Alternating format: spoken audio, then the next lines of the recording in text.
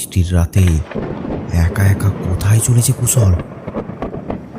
মেঘের গর্জনে মাঝে মাঝে কেঁপে উঠছে অন্ধকারে ঘুমন্ত পৃথিবীর বুক। মুসলধারে বৃষ্টির শব্দ আর বিদ্যুতের ঝলকানি নির্জনতাকে আরও আতঙ্কময় করে তুলেছে। দরজা জানলা বন্ধ, তাই রাস্তার দুপাশে বাড়িগুলি যেন দূর অতীতের সাক্ষ্য বহন করে ধ্বংসস্তূপের মতো দাঁড়িয়ে আছে। কোথাও এতটুকু প্রাণ স্পন্দনের চিহ্ন মাত্র নেই। আরামের ঘুম ছেড়ে এই বৃষ্টির মধ্যে কেন কুশল বেরিয়েছে পথে? পায়ে চলা পথ শেষ হবার পরই শুরু হয়েছে জঙ্গল। কুশল ওই জঙ্গলের মধ্যেই ঢুকলো। কোথায় গিয়ে থামবে? দিনের বেলাতেই ওদিকে যেতে কেউ সাহস পায় না। ওখানে এক সময়ে এক কাপালিক কোথা থেকে এসে ডেরা তৈরি করেছিল। প্রতি অমাবস্যার রাতে নরবলি দিয়ে তার রক্ত সারা শরীরে মেখে তাণ্ডব নৃত্যে মেতে উঠে দেবীর পূজা করত।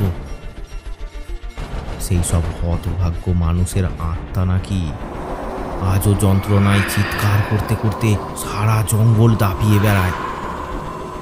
যদি কেউ ওখানে যায়, তাকে ওরা ফাঁদে ফেলে তিলে তিলে মৃত্যুবরণ করতে বাধ্য করে। এভাবে নাকি ওরা প্রতিশোধ নেয়।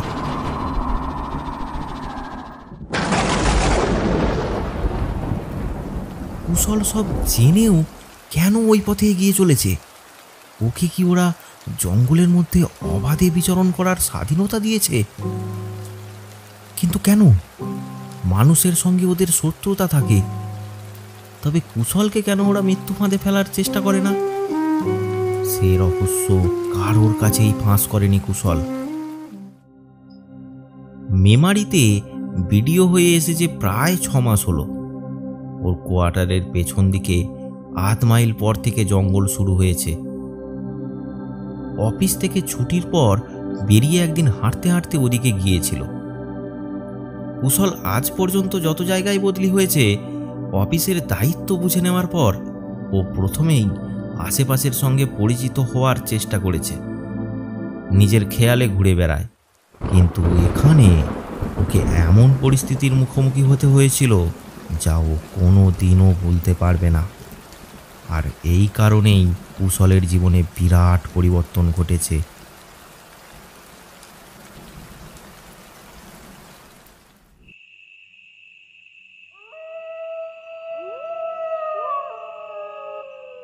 জঙ্গলের কাছাকাছি আসতেই হঠাৎ কোথা থেকে একজন মাঝ বয়সী লোক সামনে এসে ফ্যাস ফ্যাসে স্বরে বলল আপনি আমাকে নতুন ভিডিও সাহেব না? হ্যাঁ। কুশল কিছুটা বিরক্ত হয়ে ঘাড় নেড়ে সম্মতি জানাতেই সে বলল আপনি এদিকে আইছেন কেন? পালান পালান। কেন পালিয়ে যাব? আমি তো কারও ক্ষতি করিনি। আমার ইচ্ছে হয়েছে আমি ঘুরে বেড়াচ্ছি। লোকটা বিশ্রী দাঁতগুলো বের করে পিটকেল হেসে বলল বিপদে পড়বেন কেন মিছি মিছিমিছি? বিপদের প্রসঙ্গ কেন আসছে বুঝতে পারল না কুশল। একটা লোক নিজের খুশিতে ঘুরে বেড়াতেও পারবে না। আর কেই বা একজনকে মিছিমিছি বিপদে ফেলতে চাইবে? কুশল রেগে বলল আপনি কেন অকারণে আমাকে বিরক্ত করছেন? আপনি নিজের কাজে যান। আমার তো কাজ নাই। আমি শুধু ঘুরতাছি আর ঘুরতাছি। আমার কথা শুনেন। আমি আপনার কোনো কথা শুনতে চাই না। আমি আপনাকে অনুরোধ করছি আপনি আমার পিছু ছেড়ে চলে যান। সেই মুহূর্তে লোকটির পিলে চমকানো হাসির কারণ বুঝতে পারেনি কুশল। এমন অদ্ভুত মানুষের দেখা আগে কখনো পায়নি কুশলের নিষেধ সত্ত্বেও সঙ্গ ছাড়েনি। লোকটি যখন নিজেই এসেছে উপকার করতে, তখন তাকে পুরোপুরি উপেক্ষা করার মধ্যে মানবিক বোধের অভাবটাই স্পষ্ট অনুভব করতে পারল কুশল। তাই তাকে তাড়িয়ে না দিয়ে অনুসরণ করার অনুমতি দিতে দ্বিধা করল না।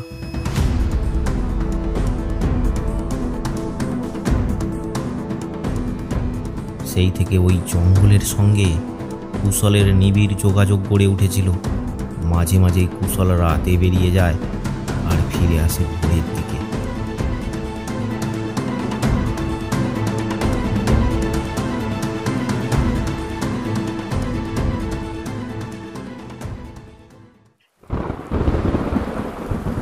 কোয়ার্টারের কর্মী সূর্য কুশলের নিশ্চিত অভিযানের ঘটনা টের পেয়ে একদিন জিজ্ঞেস করেছিল সারা রাত কোথায় ছিলেন উত্তর দিতে চায়নি কুশল।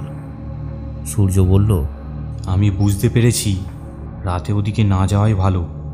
খুব বিপদে পড়ে যেতে পারেন। কুশল অত্যন্ত দৃঢ়তার সঙ্গে বলেছিল আমাকে কেউ বিপদে ফেলতে সাহস পাবে না। কুশলের উত্তর শুনে সূর্য অবাক হয়ে বলল আপনি এমন শক্তিমান পুরুষ নন যার পক্ষে সম্ভব ওই অশুভ শক্তির মোকাবিলা করা। আগে অনেকেই এমন দম্ভ দেখিয়েছিল। শেষ পর্যন্ত তার প্রত্যেকেরই ক্ষতবিক্ষত মৃতদেহ পাওয়া গেছে। পুলিশ পর্যন্ত ওই জঙ্গলে ঢুকতে সাহস পায় না। কিন্তু আমি তো কতবার গিয়েছি। আমার কিছু হয়েছে? আমার শরীরে একটা নখের আঁচড় কাটা তো দূরের কথা। কেউ আমাকে ভয় পর্যন্ত দেখায়নি। তাহলে আপনি বোধহয় নররক্তপাই কাপালি। নতুন জন্ম নিয়ে এখানে এসেছেন। তাই আপনাকে কেউ ঘাঁটাতে সাহস পায়নি। হতে পারে। বলে কুশল অট্টহাসিতে ফেটে পড়েছিল। সূর্য সেই হাসি শুনে ভয়ে কেঁপে উঠেছিল। তবে কি এই মানুষটা এখনই কাপালিকের মতো ভয়ঙ্কর মূর্তি ধরে ঘাড় মুটকে রক্ত শুষতে শুরু করবে? আতঙ্কিত হয়ে সূর্য বলল আমাকে আমা- আমাকে আপনি এক মাসের ছুটি দিয়ে দিন। আমি এখানে থাকতে সাহস পাচ্ছি না। আমি বেশ বুঝতে পারছি। আমার মৃত্যু ঘনিয়ে আসছে। সূর্যের বিস্ফারিত দুই চোখের দিকে তাকিয়ে কুশল বেশ ঘাবড়ে গিয়েছিল। ওকে স্বাভাবিক অবস্থায় ফিরিয়ে আনার জন্য সচেষ্ট হয়ে বলল তুমি কেন ছুটি নিয়ে পালিয়ে যেতে চাইছো? আমি যতদিন এখানে আছি তোমার কোনো ভয় নেই। কেউ তোমার চুলের ডগা পর্যন্ত ছুঁতে সাহস পাবে না। কুশলের এই আশ্বাসবাণীতে সূর্য বিন্দুমাত্র ভরসা খুঁজে পেল না। কাপালিকের শক্তিকে পরাস্ত করতে পারে এমন শক্তি কি কোনো মানুষের আছে? সূর্যর চোখে অবিশ্বাসের ছায়া দেখে কুশল বলল তুমি কি মনে করো আমি তোমার ক্ষতি করতে পারি? আপনি নিজে হয়তো করতে চাইবেন না। আপনাকে দিয়ে ওই অশুভ শক্তি করিয়ে নেবে। আমি না চাইলেও করিয়ে নেবে। নিশ্চয়ই। আপনি ওই মুসলধারে বৃষ্টিতে ভিজতে ভিজতে রাতের অন্ধকারে কীভাবে গিয়েছিলেন একা একা? আপনি প্রায়ই যান। কোনো সুস্থ মানুষ কি পারে? রাতের ঘুম ছেড়ে বাড়ি থেকে বেরোতে? সূর্যকে আরও বিভ্রান্ত করে তুলতে কুশল বলল রাতের অন্ধকার ঘনিয়ে এলে আমাকে কে যেন উত্তক্ত করে তোলে। আমি দেখতে পাই আমাকে কেউ হাত হাতছানি দিয়ে ডাকছে। আমি চেষ্টা করি ওই ডাককে উপেক্ষা করার কিন্তু পারি না। আমাকে ছুটিয়ে নিয়ে যায় ওই জঙ্গলের মধ্যে।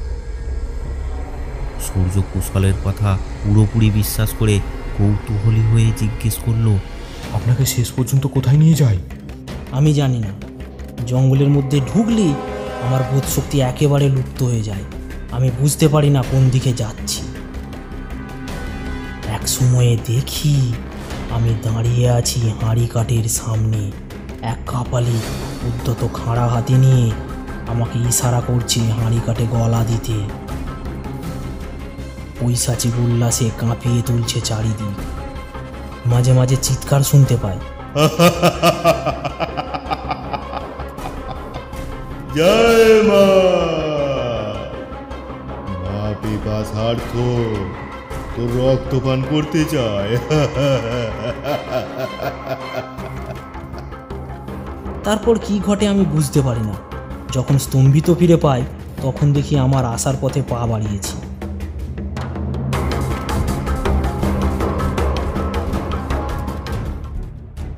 কিন্তু আপনাকে কতদিন ছেড়ে দেবে? আপনাকেও একদিন মেরে ফেলে দিয়ে যাবে জঙ্গলের বাইরে। কেন আপনি কোনো ওঝার সঙ্গে যোগাযোগ করছেন না? ওঝা কি করবে? ওদের বুজরুকিতে আমার একটুও আস্থা নেই। তুমি যদি পারো, তেমন ভালো ওঝা ডেকে নিও। আমি তাকে নিয়ে যাব ওই জঙ্গলের মধ্যে। দেখি ও কীভাবে নিজেকে রক্ষা করতে পারে ওই কাপালিকের হাত থেকে। আমাকে যখন কেউ স্পর্শ করে না, আমার সঙ্গে থাকার জন্য তোমাকেও কেউ স্পর্শ করবে না। কুশলের এমন অদ্ভুত যুক্তিকে বিশ্বাস করতে পারেনি সূর্য। হয়তো মিথ্যে বলে পুরোপুরি কবজায় আনার চেষ্টা করছে, তারপর একদিন নিয়ে যাবে জঙ্গলের মধ্যে। কাপালিকে উদ্যত খাঁড়া দিয়ে গলায় কোপ বসাবে আর সঙ্গে সঙ্গে ফিনকি দিয়ে রক্ত। সূর্যর সারা শরীরের রোমকূপ খাড়া হয়ে উঠেছে, থরথর করে কাঁপছে। হয়তো এখনই অজ্ঞান হয়ে মাটিতে পড়ে যাবে। সূর্যর চোখ মুখের অস্বাভাবিক অবস্থা দেখে কুশল বলল তোমার কি হয়েছে?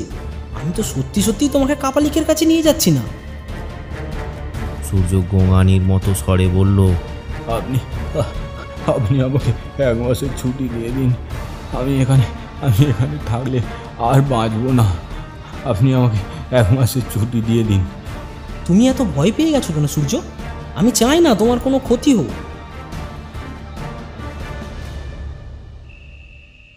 সেদিন রাতে কুশল খাওয়া দাওয়া সেরে প্রত্নতত্ত্বের সম্পর্কে সম্প্রতি প্রকাশিত বই নিয়ে বসেছিল।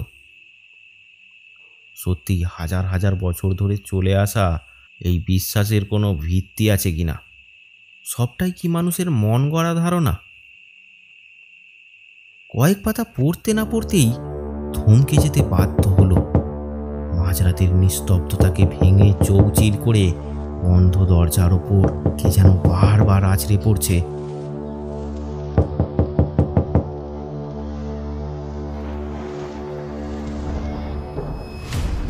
কুশল দরজা খুলতেই সূর্য লুটিয়ে পড়ল মাটিতে।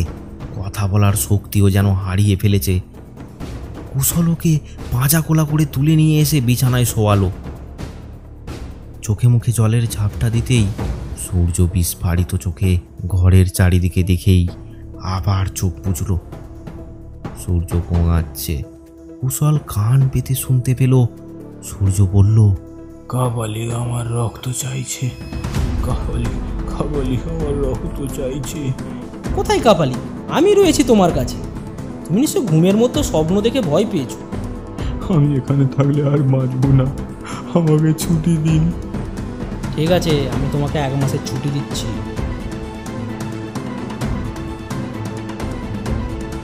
সূর্যকে এই ঘরেই ঘুমাতে দিল কুশল। ওকে নিজের ঘরে যেতে বললে ও কিছুতেই রাজি হতো না। জোর করে নিয়ে গেলে শেষে হয়তো এমন অবস্থার সৃষ্টি করত, তার মোকাবিলা করতেই আবার কুশলকে ঝামেলায় পড়ে যেতে হতো।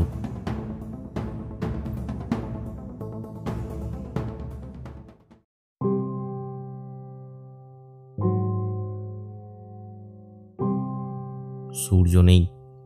ছুটি পেয়ে দেশের বাড়িতে চলে গেছে। কোয়ার্টারে কুশল এখন একা, বেশ নিশ্চিন্তেই আছে। রাতে বাড়ি থেকে বেরোলে কাউকেই কৈফিয়ত দিতে হয় না। কুশল পুরোপুরি নিশাচর হয়ে গেছে। রাতে বৃষ্টি হলেই ও খুব খুশি হয়। রাস্তায় কেউ থাকে না। বৃষ্টিতে ভিজতে ভিজতে নিস্তব্ধ অন্ধকারে একা একা পথ চলার মধ্যে বেশ একটা উত্তেজনা খুঁজে পায়। কিন্তু কেন সেই রহস্য নিয়ে অফিসের কারোর কৌতূহলকে বিন্দুমাত্র গুরুত্ব দিতে চায় না?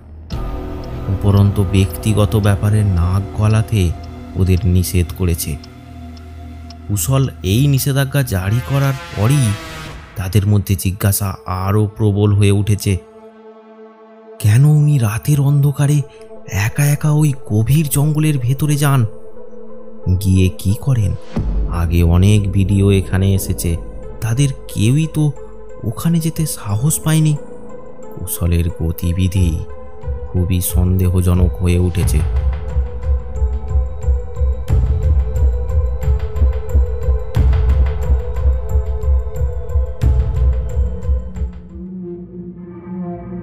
কয়েকদিন পর অফিসে এসে হাজির থানার অফিসার আশিস রায়।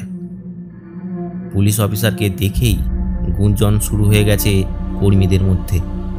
কেউ কেউ বলল আমি আগেই বলেছিলাম উনি কোনো রহস্যজনক ব্যাপারের সঙ্গে জড়িয়ে পড়েছেন। আরে বাবা রাতে না ঘুমিয়ে কেউ কি জঙ্গলের মধ্যে যেত যদি না কোনো সেখানে আকর্ষণ থাকে? আশিসবাবু কুশলকে বলল আপনাকে আমাদের সঙ্গে একবার থানায় যেতে হবে। কুশলকে একটুও ঘাবড়ে যেতে না দেখে অফিসের সহকর্মীরা সত্যিই বিস্মিত হয়েছে। আত্মসম্মান বোধ কি উনি পুরোপুরি বিসর্জন দিয়েছেন? প্রকৃত অপরাধী না হলে এই অবস্থায় বিব্রত হওয়াই স্বাভাবিক। কুশলের অভিব্যক্তিতে বিন্দুমাত্র অস্বাভাবিকতার ছোঁয়া কেউই দেখতে পেল না। থানায় যাওয়ার আগে কুশল বলল, আমি কিছুক্ষণের মধ্যেই ফিরে আসছি। আপনারা কেউ আগে চলে যাবেন না। আপনি কিন্তু সঠিক কথা বললেন না।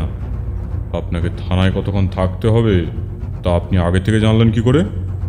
এমনও তো হতে পারে আপনি আজ সারা রাত থানায় আটকে থাকতে বাধ্য হলেন। কুশল বিরক্ত বোধ করল। থানায় আটকে রাখার ইঙ্গিত দিয়ে উনি সহকর্মীদের মনে অবিশ্বাসের বীজ বপন করে সঠিক কাজ করেননি। কিন্তু এই মুহূর্তে বাদানুবাদে জড়িয়ে পড়ে অস্বস্তিকর পরিস্থিতি সৃষ্টি করতে চাইল না।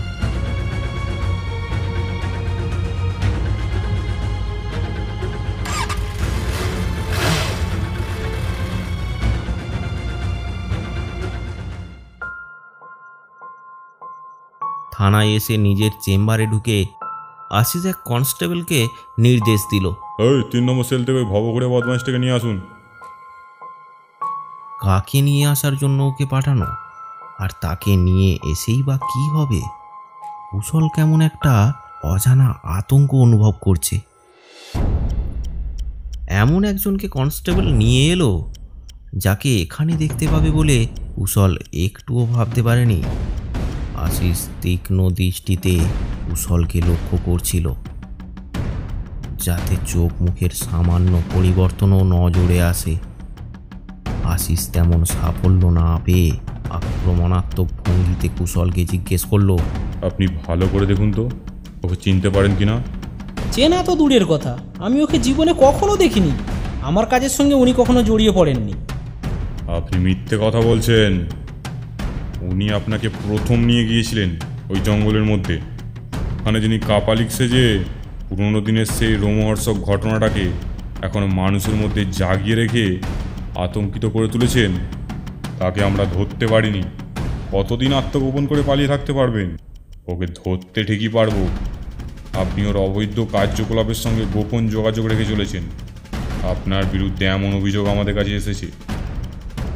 অভিযোগ করতে তো কোনো অসুবিধে নেই, যে কেউ করতে পারে। কিন্তু অভিযোগকে সত্য বলে মেনে নিতে হলে উপযুক্ত প্রমাণ চাই। তেমন প্রমাণ কি আপনারা সংগ্রহ করতে পেরেছেন? যদি না পারেন, তবে আমাকে অকারণে হেনস্থা করার জন্য সমাজের চোখে আমাকে হেয় প্রতিপন্ন করার জন্য আমি আপনাদের বিরুদ্ধে মানহানির মামলা করব। সে সুযোগ আপনি হয়তো পাবেন না কুশলবাবু। একজনকে তো ধরতে পেরেছি। তার স্বীকারোক্তির ভিত্তিতে আপনাকে আইনের কাঠগড়ায় দাঁড় করাতে আমাদের বিশেষ অসুবিধা হবে না। আপনি একজন সরকারি অফিসার, তাই আপনাকে আমরা অপরাধ স্বীকার করার সুযোগ দিতে চাইছি। আপনি সে সুযোগ নাও গ্রহণ করতে পারেন। তবে আমার অনুরোধ, আপনি একবার ভেবে দেখুন। ভুল পথে চলে আপনি নিজেকে বিপন্ন করে তুলবেন না অপরাধের পথ পরিত্যাগ করে সুস্থ ও স্বাভাবিক জীবনে ফিরে আসবেন। কুশলের মধ্যে বিন্দু মাত্র পরিবর্তন ঘটল না সে আগের মতোই ঔদ্ধত্যের সঙ্গে বলল আমি যা করেছি ঠিকই করেছি ভুল সংশোধন করার কোনো প্রশ্নই ওঠে না। আশিস একটু ভারী স্বরে বলল হুম বুঝতে পেরেছি। আপনি সহজে নিজেকে বদলানোর পক্ষপাতী নন।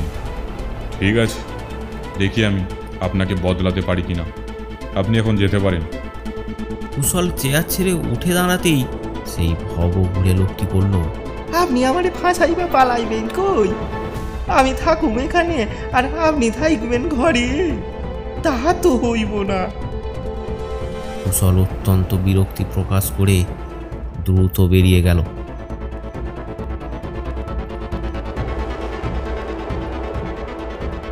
অফিসে ফিরে এসে কুশল দেখল সবাই কাজ ফেলে রেখে জটলা করছে। আলোচনা চলছিল চুটিয়ে। কুশল আসতেই আলোচনা থেমে গেল। দু একটা কথা তার কানে ঢুকেছিল ঠিকই কিন্তু তা থেকে আলোচনার বিষয়বস্তু সঠিক বুঝে ওঠা সম্ভব না কুশল বলল আমি আপনাদের পুরোপুরি মিথ্যে কথা বলে যাইনি। এবার নিশ্চয়ই বুঝতে পারছেন? কারোর মুখে কথা নেই। কিন্তু চোখের দৃষ্টিতে রয়েছে অপরিসীম বিস্ময়। কুশল তাতে একটুও বিচলিত না হয়ে বলল পুলিশ কাউকে থানায় ডেকে নিয়ে গেলেই সে অপরাধী হয়ে যায় না। অপরাধী প্রমাণ করতে না পারলে শুধু অভিযোগের ভিত্তিতে কাউকে দোষী হিসেবে চিহ্নিত করা ঠিক নয়। সে কথাটা ভুলে গিয়েছিলেন। কুশলকে অবিশ্বাস করার মতো কোনো যুক্তি ওরা খুঁজে পেল না। সুতরাং এতক্ষণ যে সন্দেহ ওদেরকে চালিত করেছিল তার থেকে নিজেদের মুক্ত করতেই সচেষ্ট হলো। কিন্তু একটা খটকা অবশ্যই রয়ে গেল। উনি কেন প্রায় গভীর রাতে জঙ্গলের মধ্যে যান? সে রহস্য উদ্ঘাটন না হওয়া পর্যন্ত কুশলকে কিন্তু পুরোপুরি নির্দোষ বলে মেনে নিতে কেউ রাজি নয়। কয়েকদিন ইচ্ছে করেই কুশল রাতে বাড়ি থেকে বেরোয়নি।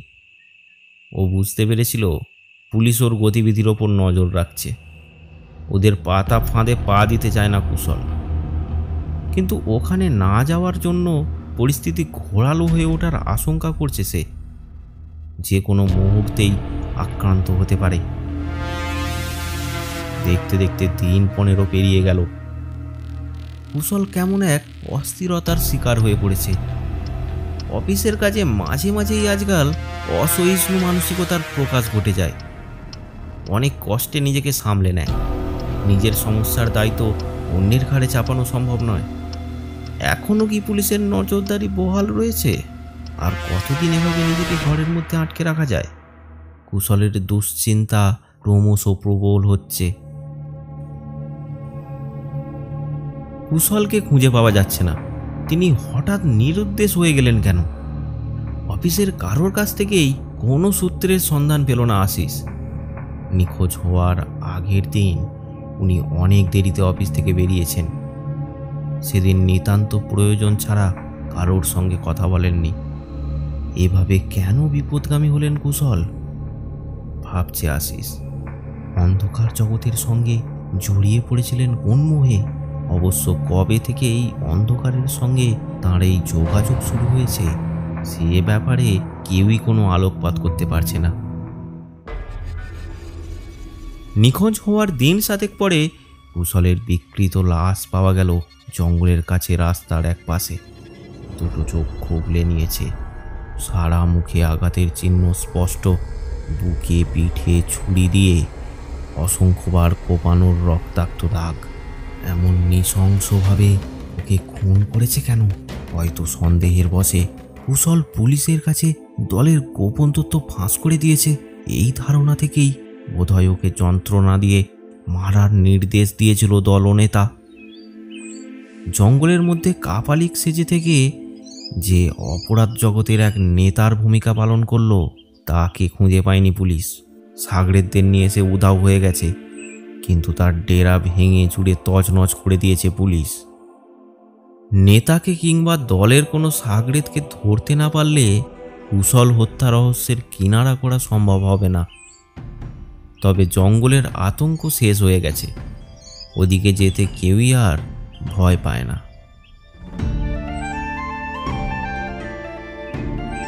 আরও ভয়ানক গল্প পেতে আমাদের চ্যানেলটি সাবস্ক্রাইব করুন আর বেল নোটিফিকেশানটি অন করে দিন। আর কমেন্ট করে জানাতে ভুলবেন না গল্পটি আপনাদের কেমন লাগল। কমেন্ট বক্স থেকে আমাদের কিছু পছন্দের কমেন্ট আমরা তুলে ধরবো পরের গল্পের শুরুতে কমেন্ট করে পাশে থাকুন।